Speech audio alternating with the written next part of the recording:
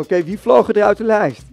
Nou, omdat we duizend namen was het eh, moeilijk om echte keiharde exits te vinden. Want ja, er zijn natuurlijk de ondergrens daalde. Dus heel veel mannen die hadden wel wat krediet voor dat ze daadwerkelijk uit de lijst vielen.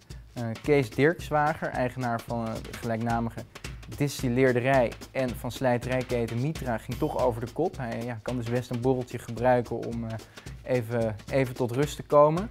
Een andere man die ondanks de verlaagde ondergrens uit de lijst valt, is Ger van Jeveren. Hij was de CEO van Vagron, een medisch bedrijf wat ook in zwaar weer kwam. De koers klapte in. Helaas voor Ger, zijn mooie witte tanden en witte Ferrari zijn niet genoeg voor een notering op de lijst het jaar. Nou, tot slot nog een mededeling van de marketingmeisjes. Dit was slechts één video van het grote Quote 500 journaal. Wil jij nou nog meer video's kijken? Klik dan hier. En ren daarna vooral naar de winkel en koop de Quote 500. Nou, ik hoop dat dit eh, goed is.